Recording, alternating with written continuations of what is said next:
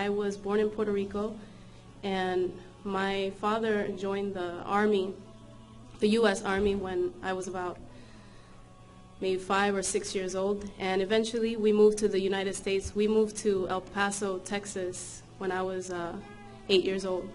And I was also in third grade and didn't know English. Um, through my, my youth, my parents and I, we moved around the U.S. all over. Every two or three years, we were moving to a different place. Because when you're in the military, you, you go from base to base um, to different jobs and everything. So we would follow wherever my father went. That's where we would go. Uh, so I got to experience and meet a lot of different people. Alhamdulillah.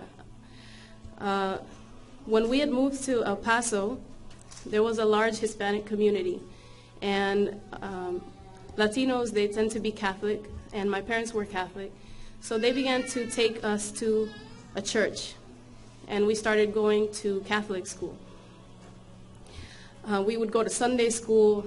I actually went to Catholic school in Puerto Rico as well, and um, once we were in El Paso, we continued on with that. I went to a regular public school, but then I would go to Catholic school for Sunday school. And in El Paso, I, I did my, my first communion, um, first confession. I went down through the sacraments in the Catholic Church. For some reason, as a child, I never felt comfortable going to the Catholic Church. There was something about walking inside the church and seeing many statues, many paintings of of Jesus, of saints, of supposedly Mary, the Virgin Mary, um, I would feel uncomfortable.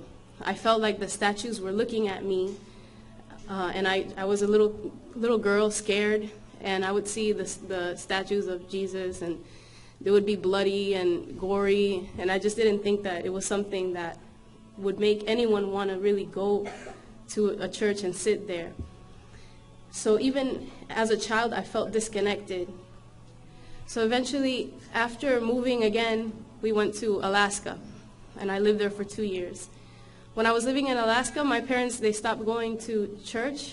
Um, they, my mother would always say, we believe in God and we can pray to God wherever we are. So we don't have to go to church if we don't want to. And so I felt comfortable with that. So we stopped going to church at that point. Then we moved to Savannah, Georgia. We went literally from one side of the U.S. to the other, very opposites in the, in the spectrum. And while we were in, in that part of Georgia, we also did not attend church. Again, we moved and we went to Maryland.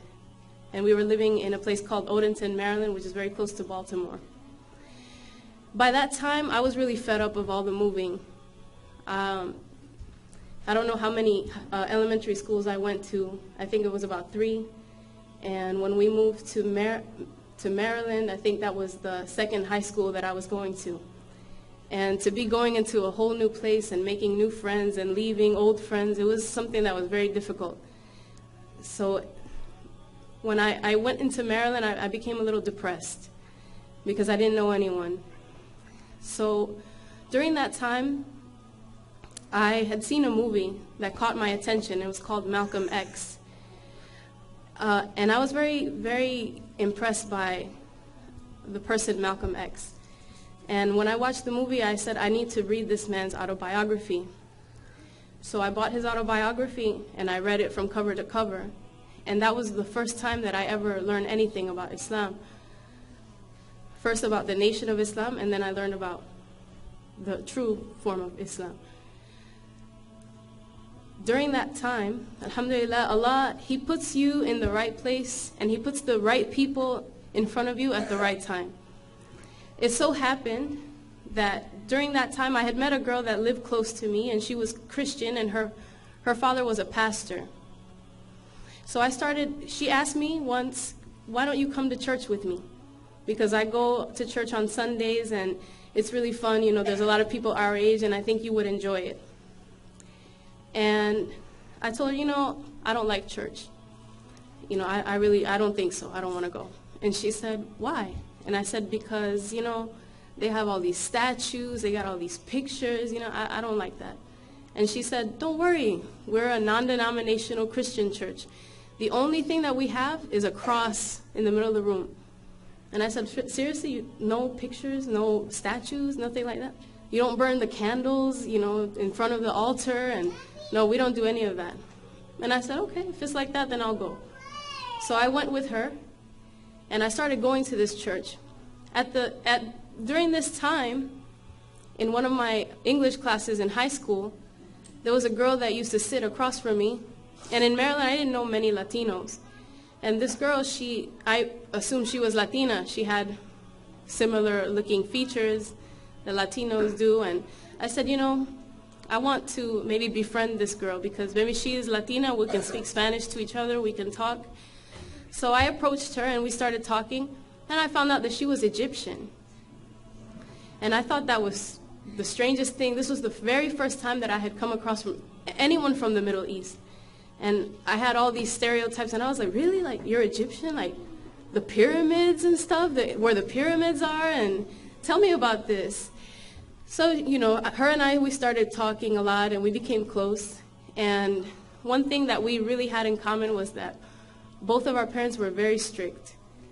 My parents were so traditional so strict that they wouldn't even let me go out with girlfriends outside to the mall or any place. I couldn't go anywhere with uh, anyone. So her parents were the same way. They wouldn't let her go out. They wouldn't let her do certain things. They, they, if, uh, if you were to go out with a friend, you have to have your parents with you. Like if you want to go to the mall and hang out with your friends, that's fine. I'll take you to the mall. I will let you meet your friend there, and I'll walk a few steps behind you while you and your friend are looking around.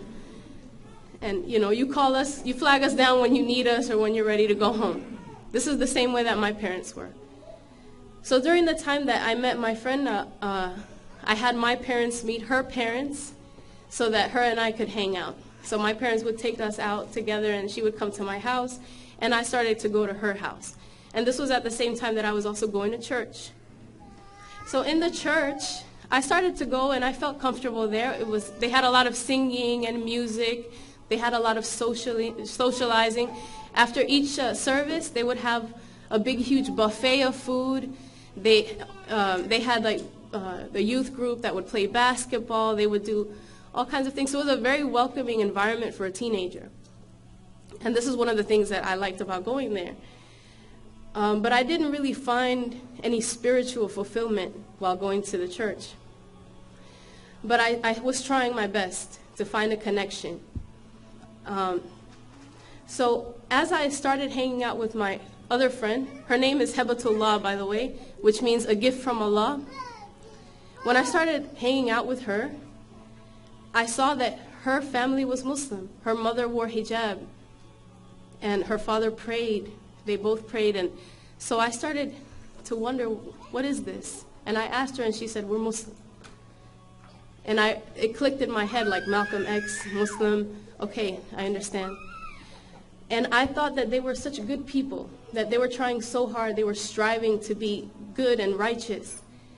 And when I saw that, I went back to my friend's father, who was the pastor at the other church, and I said, you know, um, Heba's family, they're very good people. They pray. The, her mother, she covers herself like the Virgin Mary do, does and or did. And they do all of these things and they try to please God. So do you think that they're going to go to hell? And the pastor, he got very quiet. And after some time, he said, if someone does not believe that Jesus Christ is their Lord and Savior, then yes, they're going to go to hell. And that was just something that was like a stab to my heart because I really loved my friend that was Muslim and I said, I, I, don't, I, I don't know if I can accept that. And my next question was, so are you telling me that all the Jews that died during the Holocaust, that they're also going to hell? And he said, um, well, if they didn't accept Jesus Christ as their Lord and Savior, then yes, that, that's, that's right. That's right. So that was something that I couldn't really accept. So by this time, when I have all these conflicts in my mind, it was time to move once again. And I moved to Augusta, Georgia, another part of Georgia. When I went to Georgia, I, was, I wanted to continue to go to church or to feel some kind of spirituality. So I took my father and I said, can you take, take me somewhere so we can find a place for me to worship? And he said, um, no problem. So we went and we saw two churches sitting side by side in the, on the road. And um, there was one that was a little, it looked like maybe people didn't go there, like it was old. Then there was the other one that looked really nice. So I said, let's go up to that one. When we walked in, they were having a service. Everyone turned around and looked at us. And one man got up and he approached my father and I and he said, uh, if you're looking for the black church, it's over there. If you're looking for the black church, is that one right there. And basically, he walked us out. and it was shocking because this is the first time that I experienced something like that. My father is dark, darker skinned than I am. He has darker skin than I am. But everyone in that church had white skin, blue eyes, light eyes. So we just looked, we stuck out like a sore thumb. So we walked over to the other church and mashallah, they was a small community. They welcomed us and we sat there, but I didn't feel right after that. And I told my dad, you know what, that's it. I'm, I'm done. I'm good. You know, I'm going to worship God in my own house. So I continued going to high school, and I, I, finished high school. My father saw that, again, I was depressed because I didn't have many friends. This was a new high school. I was actually a senior at that point, and it was my, the last high school that I attended. I didn't know anyone. Everyone was just talking about their yearbooks and the prom and graduation, and they'd gone the whole four years with all their friends, and I was the newcomer coming in my senior year. So I, I asked my father, can I go visit Heba? I want to go see her. So he said, you know what, I'll buy you the plane ticket and you can go.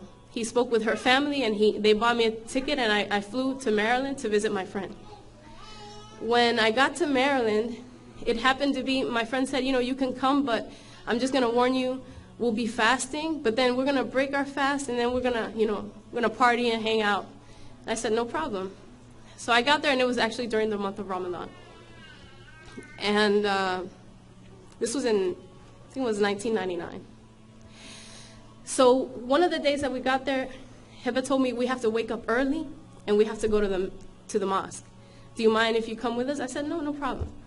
And I started, uh, she told me, okay, well, if you're going to come inside, can you wear a scarf? I said, no, no problem. I'll go. Um, so we went, and it, ha it happened to be that day of Eid. And it was the, the end of the month of Ramadan. It was Eid. And we went, early prayer was about, I think, 8 o'clock. And when we were approaching the masjid, she said, you know, you might want to just stand outside. And I said, I don't feel comfortable standing outside. I want to go inside. And she said, okay, you can come inside. So once we were inside, she said, you know, we're going to pray soon, so you might want to sit in the back. And I was like, I don't, I don't want to sit in the back because then people are going to look at me funny and you know, she said, okay, then come and sit next to me. So I sat with her for a while and people were talking and I, I was hearing something and I, I didn't know what it was, but it kept on going over and over and over. And while I was sitting there, then all of a sudden everyone started to get up. They were about to pray. And my friend said, um, you know, we're going to pray, so now you can go to the back. And I was like, no, it's so embarrassing. Can I just stand next to you? Can I, I'll do whatever you do, I'll do it. And she was like, okay, just, you know, put your foot next to mine and just do what I do. And I said, okay, all right, khalas, inshallah, I'm going to do this. Well, I didn't say that at that point. so they started to pray, and I followed them. And I, I did the whole prayer. And then we, we, we went out. When we went outside, during that time, my friend wasn't wearing hijab. So as soon as we got back in the car, she took off her scarf. And she was like, oh, she took it off. And she was like, oh, now you take yours off. And I was like, we haven't even left the parking lot yet. Just, no, I'm not taking it off right now. And her parents were just giggling, and, and she, she was like, just take it off, don't be silly. And I, I said, no, I want to keep it on. So we went back to her house. By that point, I took it off. And she said, you know, it was early, let's go take a nap, and then we'll wake back up, and then we'll go out. And I said, okay, no problem. So I laid next, uh, I, I was with her in her room, and we, we laid down in her bed and we started to fall asleep. But something kept on going in the back of my mind. And it was something like, Allahu Akbar, Allahu Akbar, Allahu Akbar, La ilaha illallah. And I was like, what is that? And it just kept on going, like a song when it gets stuck in your head when you go out into the supermarket or something. And it was just there and it kept repeating itself. And I just, I shot up and I said, Heba. She was like, what? What? She was already sleeping. I said, Heba, what does Allahu Akbar, Allahu Akbar? And I went through the whole, what does that mean? And she was like, oh, you know, God is great, God is great, God is great. There is no God but God. I said, oh, okay. All right. So went back to sleep. So after that, I start. We went out again, and we went to different places. Uh, we went to a gathering of Muslims, and I saw people praying for the first time as Muslims, and I started asking questions. Why do the women have to pray behind the men? And I'm sitting with my friend. We're we're young, and she tells me, "Hello, don't you know if the women were praying in front of the men, what do you think the men would be thinking about?" And I said, "That makes sense." subhanallah, that makes sense. And I said, okay, okay. And I, I, kept on coming with more questions, more questions. And, you know, she would answer them and I'd be like, wow, this is so easy. And then I started asking her parents questions. And I asked questions to the point that her father said, you know what, look, take some books. Here you go. You take these books, you read them, stop asking me. And I said, okay. So I took the books back with me to Georgia and I read, the first one that I read was called Islam versus Christianity. And it was a very small book. And when I read that book, every single question that I had ever had about God, about life, about Jesus, who he was, why I didn't feel right going to the Catholic Church, why going to the Christian church wasn't enough for me. Because I was looking for an answer that I finally found in this little book after asking some questions. Alhamdulillah. Uh, it took a while, though, for me to, to understand what I needed to do to become a Muslim. So I started, during this time, it was the age of AOL, America Online, chat rooms and such. Um, I started looking for Muslims on the internet, and I wanted to find a Muslim that lived close to me. So I went into a chat room, and it was like an Atlanta chat room, and I saw a name that came out as a, it looked like a Muslim name. And it was Fadl. And I, I am the person. I sent them a message. And I said, um, I'm interested in, about, in knowing about Islam. And it was, a, it was a man, it was a brother. And since he saw that this strange woman was messaging him, he said, you know, like, whatever, no, I'm, like, I'm not going to talk to you. And I said, okay. I said, and I put ma salama, which means goodbye in Arabic, because at this point I knew a few Arabic words. And then he, he, he sent me a message and he said, how do you know that? And I said, because I told you I'm, I'm interested in learning about Islam. I have an Egyptian friend, she's Muslim. I told him the whole story and he said, send me your number and I'm going to call you right now. And I said, this is crazy for me to do, but I sent him my number. He called me and he said, do you believe that God is one? And I said, yes. And he said, do you believe that Muhammad? By this point, I had read about Muhammad, the Prophet Muhammad sallallahu And okay. as long as it's not an attack, attack on me. Ready? Okay. So by this time, by this time I had learned about the Prophet Muhammad وسلم, and he asked me, do you believe that Muhammad is a pro- uh, was the final messenger? And I said yes. And he said, okay, repeat after me. La, uh, Ashadu an la ilaha illallah wa ashadu anna Muhammad Rasulullah. And I did so. And he said, I'm going to come and see you. I live in Atlanta, but I'm going to come and I'm going to bring you some things. And we're going to do this, but you need some witnesses. So I met him and his family in, uh, he happened to have cousins that live close to me. We met there and I said my shahada there uh, in front of them. Alhamdulillah, this was in the year 2000. I think it was about August or September of 2000. And after that, I called my friend, the Egyptian friend, and I told her, she didn't even know I knew certain things. She didn't know what words I had learned or anything. So when I called her, I said, um, Heba, you know, after we, we said, how you doing, what's going on, and everything, I was like, you know, I took my shahada yesterday. And she said, what? You did what? I took my shahada yesterday. All I heard was, Baba! Mama! As she was screaming to her parents what I had done. And immediately her parents, they, they, they begged me to fly to, to see them, and I did so, and they took me to the mosque, and they said, you have to do your shahada in the masjid. So I, I did my shahada three times, alhamdulillah. It's like the sunnah is, is three, and uh, alhamdulillah.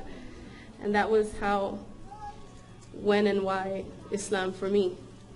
Alhamdulillah. Right now, I, um, I want to take the opportunity to tell you that my, uh, I met my husband seven years ago, a little over seven years ago.